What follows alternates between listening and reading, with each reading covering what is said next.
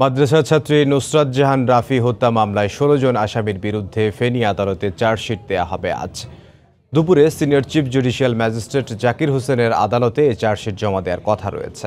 অভিযুক্ত ষোলো জনেরই ফাঁসি চাইবে পিবিআই প্রায় দেড় মাস তদন্তের পর মাদ্রাসা ছাত্রী নুসরাত হত্যা রহস্য পরিষ্কার বলে জানিয়েছে police bureau of investigation PBI গত ছয় এপ্রিল সোনাগাজী ইসলামিয়া ফাজিল মাদ্রাসার ছাদে নুসরাতের গায়ে কেরোসিন ঢেলে আগুনে পুড়িয়ে হত্যা চেষ্টা চালানো হয়। পরে গুরুতর অবস্থায় তাকে ঢাকা মেডিকেলে ভর্তি করা হলে দশই এপ্রিল চিকিৎসাধীন অবস্থায় মারা যায় সে। এ ঘটনায় তার ভাই মাহমুদুল হাসান নোমান বাদী হয়ে আটজনের নাম উল্লেখ সহ অজ্ঞাতদের আসামি করে সোনাগাজী মডেল থানায় একটি মামলা করেন। পিবিআইকে মামলাটির তদন্ত ভার দেয়া হয়। অভিযান চালিয়ে এজাহারভুক্ত আট আসামি সহ একুশ জনকে গ্রেফতার করে পুলিশ। এ হত্যাকাণ্ডের মূল হোতা অধ্যক্ষ সিরাজউদ্দৌলা সহ বারো জন আদালতে স্বীকারোক্তিমূলক জবানবন্দি দিয়েছেন। এই মুহূর্তে ফেনী আদালত চত্বরে আছেন রিপোর্টার আতিয়ার সজল। সরাসরি যাচ্ছি তার কাছে। ইমদাদ, আমরা রয়েছি আদালত প্রাঙ্গণে।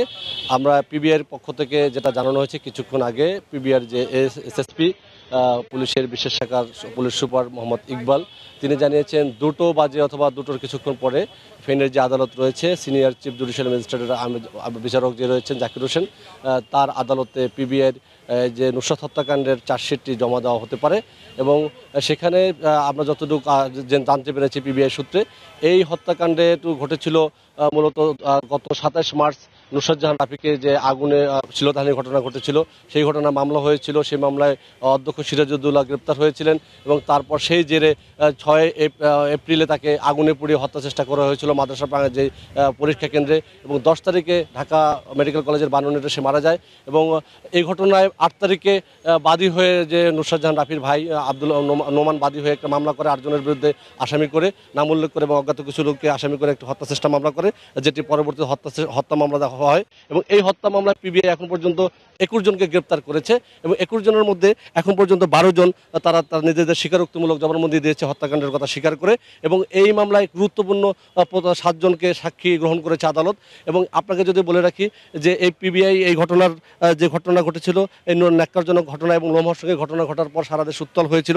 আজকে এই মামলার চার্জশিটের দেওয়া উপলক্ষে আদালত প্রাঙ্গণে অনেক মানুষের ভিড় জমেছে এবং উৎসুক জনতা জানতে চেয়েছেন যে কে কারা থাকছেন বা কারা না থাকছেন, আপনাকে যদি বলে রাখি, এই আজকের ঘটনায় যে চার্জশিটে দেওয়া হবে, সেখানে ষোলো জনকে অভিযুক্ত করে তাদের সর্বোচ্চ শাস্তির ব্যাপারে সুপারিশ করে চার্জশিট দেওয়া হবে বলে পিবিআই জানিয়েছেন। যার মধ্যে প্রধান আসামি যে অধ্যক্ষ সিরাজউদ্দৌলা আওয়ামী লীগ নেতা রয়েছেন, উপজেলা আওয়ামী লীগের নেতা রুহুল আমিন এবং এক কাউন্সিলর রয়েছেন মকসুদুল আলম সহ তারা ষোলো জনের সা- আসামি করে এবং তাদেরকে অভিযুক্ত করে সর্বোচ্চ শাস্তি নিশ্চিতের ব্যাপারে তারা আদালতে আজকে চার্জশিট দিবেন। এবং এই সর্বশেষ যখন আরও চার্জশিট দেওয়া হবে, আমরা বিস্তারিত জানাতে পারব আপনাদেরকে। এই ছিল এখানকার সর্বশেষ অবস্থা। ইমদাদ। ফেনীর আদালত চত্বর থেকে আমাদের সাথে যোগ দিয়েছিলেন রিপোর্টার আতিয়ার সজল। এদিকে নুসরত জাহান রাফি হত্যা মামলায় গ্রেফতারি পরোয়ানা জারির পর থেকে লাপাত্তা ফেনীর সোনাগাজী থানার সাবেক ভারপ্রাপ্ত কর্মকর্তা মোয়াজ্জেম হোসেন। গ্রেফতারি পরোয়ানা জারির খবর গণমাধ্যমে প্রচারের পরই গতকাল তার বর্তমান কর্মস্থল রংপুর রেঞ্জ ডিআইজি কার্যালয় থেকে লাপাত্তা হয়ে যান তিনি। তার অবস্থান সম্পর্কে জানতে চাইলে ক্যামেরার সামনে কথা বলতে রাজি হননি কোনো পুলিশ কর্মকর্তা। তবে রংপুর রেঞ্জের ডিআইজি দেবদাস ভট্টাচার্য দাবি করেন, গত সপ্তাহ থেকে মোয়াজ্জেম হোসেন মামলার কাজে ঢাকায় অবস্থান করছেন। অবশ্য আদালতের নির্দেশনা হাতে পেলে তার বিরুদ্ধে আইনানুক ব্যবস্থা নেওয়া হবে বলে জানান ডিআইজি। গত সোমবার মোয়াজ্জেম হোসেনের বিরুদ্ধে গ্রেফতারি পরোয়ানা জারি করেন আদালত।